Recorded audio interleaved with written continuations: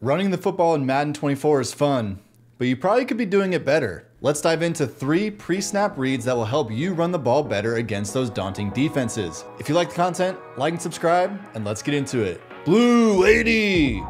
Ready, go!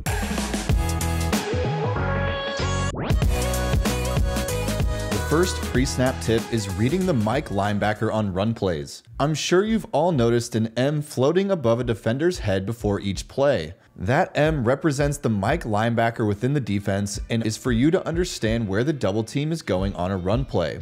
On almost every inside run, there is a double team on the nose tackle with the center and right or left guard depending on the run play. After the double team is initiated, the guard or center then looks to move up to the second level of the defense and block the Mike linebacker. If the Mike linebacker gets blocked, it's more often than not resulting in solid gains on the ground. If the guard or center doesn't make it to the Mike linebacker, it's on you to make the guy miss and you're probably getting stuffed. It's okay if it's not a big run gain every time, sometimes the defense just wins a play. It's football. Outside runs apply the same blocking principle where the Mike linebacker is the player you want the double team to move up to. Except this time instead of the center, it's double teams with your guards, tackles, and tight ends. The same principle applies as before where you want the double team being initiated near the area that you're running the football. If your lead blocker gets to the Mike on time or early, the initial hole on the play will likely be pure daylight. If the lead block gets stuck on the double team longer than usual, a cutback run can help suck that Mike linebacker down into your guard and free you up down the middle of the field. The second pre-snap read that will help you in the run game is reading the box. The box is the defensive running zone that starts 5 yards outside the tackle on each side and 7 yards deep off the line of scrimmage. Madden does a great job in assisting with the red and green squares on each side of the center to showcase this. If the box is green, you have equal or more blockers than defenders, and if it's red, I'm sure you get it, there's more defenders than blockers. However, don't take these colored boxes as gold because they can be a little misleading at times. For example, calling a weak side run can sometimes show a red box, but it can still be a good run play if your weak side lineman is able to account for that Mike linebacker.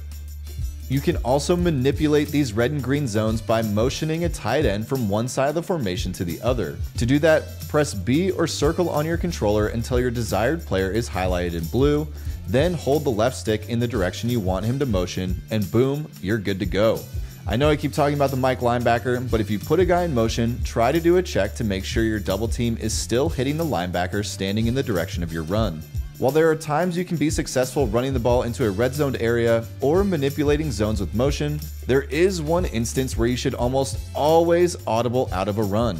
Those times are when you see a stacked box. A stacked box is when the defense has 8 or more guys within that area. Outside of a goal line formation, you should instantly be audibling out of a run and into a play action or quick throw like a slant or out route. There are certainly times defenses will drop back in coverage, but a quick throw will bust a stacked box more often than not. You can run play action in a stacked box, but you'll want to do my third pre-snap read first. When running the ball or audibling to a play action, it's best to motion a player to see if the defense is running a zone or man coverage. To identify the coverage, motion your tight end or slot receiver to the other side of the field, and if a linebacker or safety chases your receiver across the field, it's man coverage.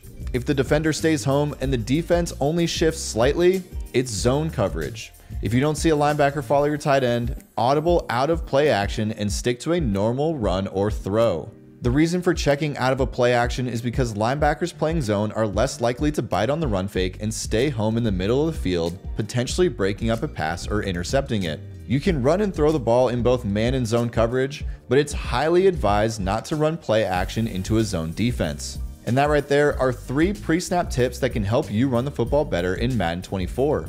If you enjoyed the video, please tap a like on it as it helps the video out tremendously. I'll have other videos that break down passing tips and man vs zone coverage, so make sure to tap that subscribe button to catch that content. This is Josh Robinson with Joystick Gamer. Thank you as always, and stay gaming out there.